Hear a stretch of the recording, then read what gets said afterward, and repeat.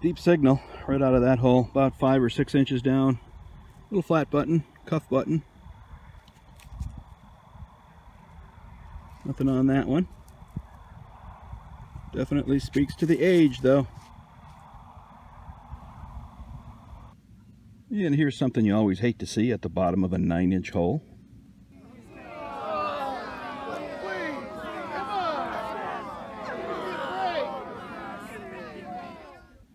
Back up against the woods here, I just got a real light signal, 61, dug down about four inches. Came up with a little two-hole button, and there's a little pattern on it.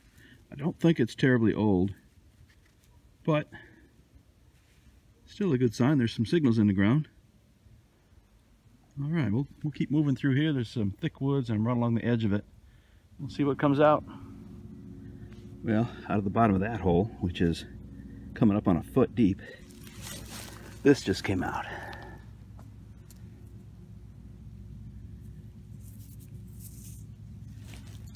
What in the world is that? It's pretty broken up.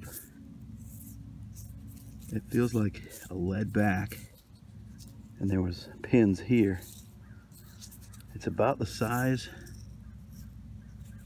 I'd say it's about the size of a bridle rosette. Wow, maybe there's more of it down in the hole. I will double check, but that's pretty cool. That looks period to me. We'll take it. Another signal, only about an inch down right there, ringing really loud, 72. And I think I've got the, I think I've got a concave flat button here. You can see the where the shank might have been in the middle. I don't know if there's any decoration or any type of fanciness on it, but I think that's what it is.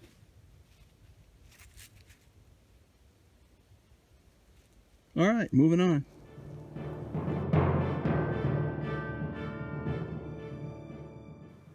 Well, I'm in here working this field here, this uh, field that was cut last fall. And I'm in here right now with the XP Deus and the little high frequency elliptical coil. So I got the speakers on so you can hear all the iron in this field that I'm dealing with. And I'm just going around looking for diggable signals. Ended up with one right over here.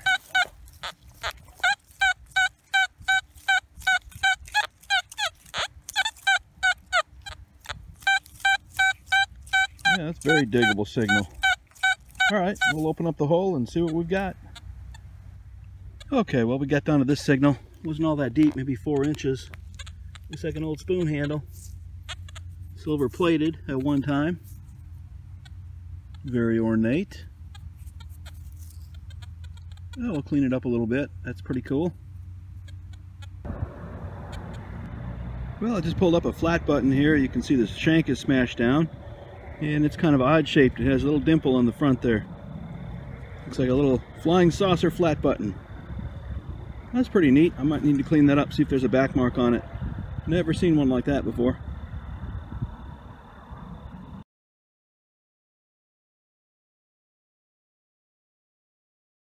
I got down about seven inches or so with this one.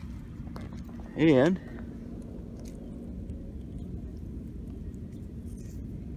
that's a poncho grommet. Yep, that's exactly what that is. All right, well, we'll keep working through here. See if we can't find something we missed before. Stay tuned.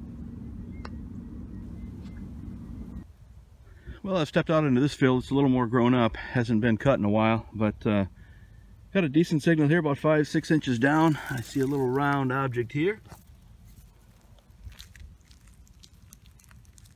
Oh, it's real thin. Yeah, we've got a flat button with a broken shank. Little cuff button. Boy, look how pretty green that is. All right, we'll keep moving along. Okay, real uh, nice signal here. It was real shallow. It's up in the plug here. Looks like we've got a little pistol ball.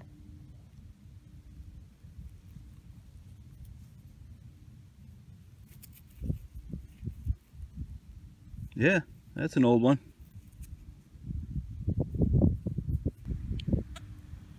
I just flipped the plug up on this signal. About five inches down, I got something brass here.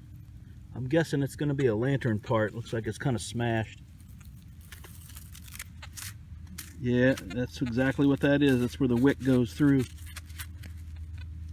on an old oil lamp. All right.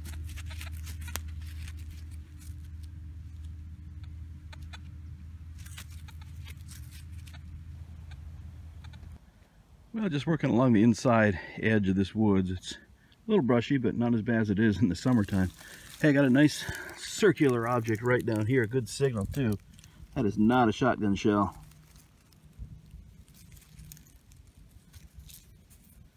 Ground is still a little bit frozen right there. Yeah, big flat button. Doesn't look like there's going to be anything on it. Still, nice big flat button. Let's see if we can get this off of there. Yeah, there's a shank there. Yeah, beautiful. This thing's got some age on it for sure. Shank is a little folded over.